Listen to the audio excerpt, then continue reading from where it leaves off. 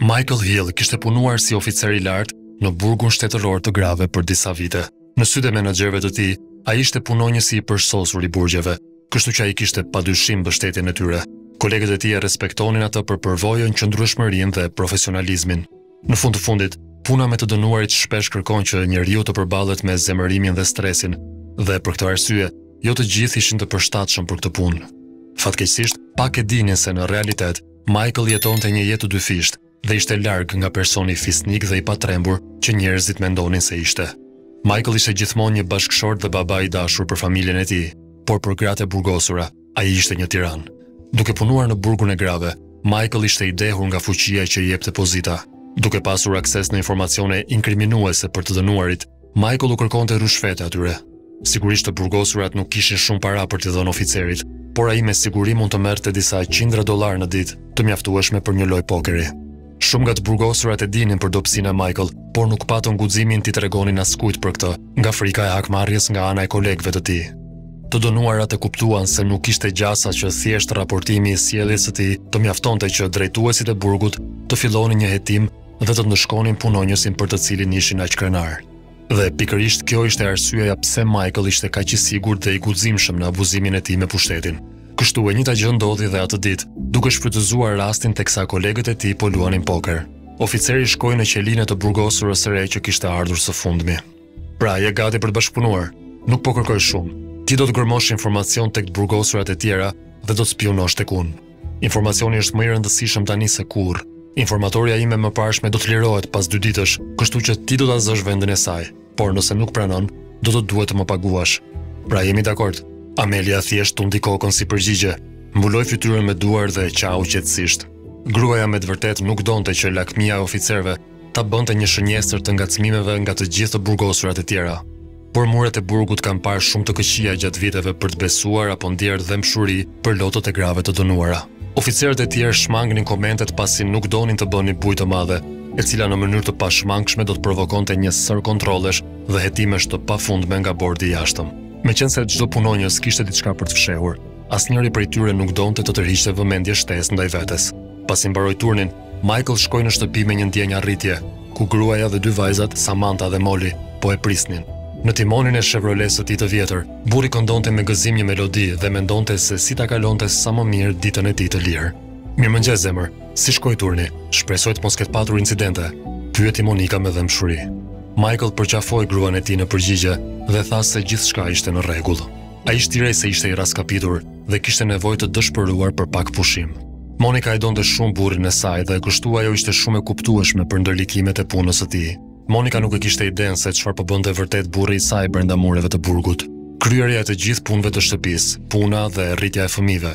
Gruaja po mundohej shumë në të dy frontet dhe sipas motrës së saj Dianës, ishte e qartë se çfarë i mungonte. Ai nuk të do Monika, nuk e sheh?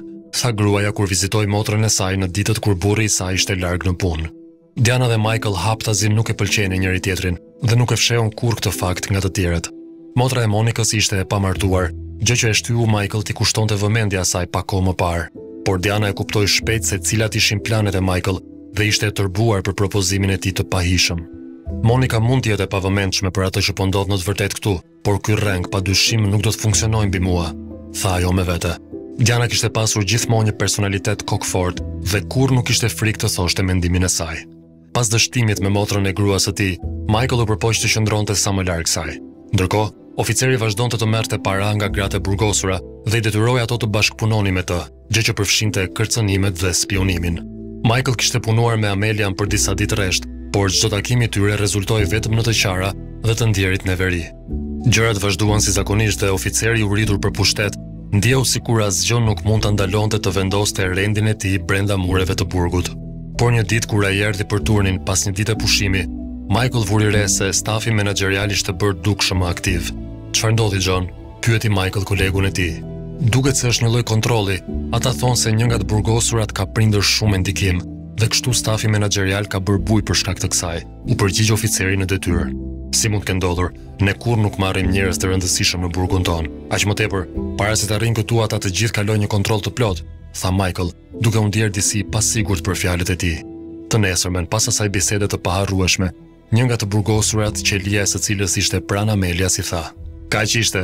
Grabitjet dhe kërcënimet e tua morën fund. Tani do duhet të përgjigjesh për gjithçka që ke bërë." Me të dëgjuar këto fjalë, Michael u kthye në të kuqe të ndezur dhe bërtiti me zemërim. Mbylle gojën ti hajdute, për çfarë po flet? Për çfarë do më duhet përgjigjem? Gruaja lëshoi një të qeshur të thellë. Kur Michael e kërcënoi sërish me shkop, ajo tha: Do të duhet të jesh pak më i përulur që tani e tutje zoti Hill. Babai i Amelias është Alvaro Ramirez. Ke dëgjuar për të? Ishte një kohë kur emri i tij shfaqej në faqet e para të gazetave. Nuk ka asgjë që Alvaro nuk mund të bëjë. Nëse ai zbulon se ju e keni keqtrajtuar vajzën e tij, sinqerisht, nuk do doja të isha në vendin tënd. Pasi dëgjoi hajduten e dënuar, Michael u zbeh dhe ndjeu djersë të ftohta që po i rridhnin në shpinë. Sigurisht oficeri e dinte kush ishte Alvaro Ramirez. Ishte një gjë e zakonshme për këtë gjeni kriminal të varroste nën trotuar dikë që nuk e pëlqente, ose t'ua hidhte aligatorëve në kënetat e Floridas. Si është e mundur që nuk e dija se vajza e kujt ishte, mendoi Michael-i, duke luftuar dëshpërimisht me ankthin që po e pushtonte.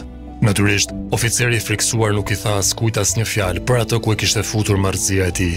Michael ishte gjithmonë egoist dhe mendonte kryesisht për veten e tij. Sidoqoftë, burri ishte plotësisht i vetëdijshëm se nëse Alvaro Ramirez do të vendoste të hakmerrej, atëherë zemërimi i kriminelit me siguri do të binte edhe mbi familjen e tij. Tani Michael nuk ndihej më si mbreti i burgut, ku kaloi shumë vite duke grabitur të burgosurat e gjora dhe duke i përdorur ato për nevojat e veta kriminale. Oficeri u përpoq t'i kërkonte falje Amelias disa herë, por ajo gjithmonë i përgjigjej ose duke pështyrë në fytyrë ose me një sërë sharjesh. Madje Michael u ul në gjunjë para të resë, duke iu lutur që të mos zemërohej me të. Por Amelia nuk u prek nga fjalët e tij. Ndodhi që babai i saj Alvaro u detyrua të fshihej nga autoritetet dhe të vazhdonte biznesin e tij në Meksikë për një kohë të gjatë, gjë që e dënoi të renë. Ajo u akuzua për krimet e babait të saj dhe u dënua. Tani kur avokatët e Alvaros arritën të provonin pafajësinë e saj dhe bënë një marrëveshje me hetuesit, ai ishte në gjendje të kthehej në Shtetet e Bashkuara. Pasi mësuan nga të burgosurit se Michael ishte nën kërcënimin se do të paguante për mizoritë e tij, kolegët filluan ta shmangin atë si murtaja. Michael priste që vrasësit e Ramirez të futeshin në shtëpinë e tij në çdo moment dhe ta bënin familjen e tij të paguante për të gjitha mizoritë që ai kishte kryer.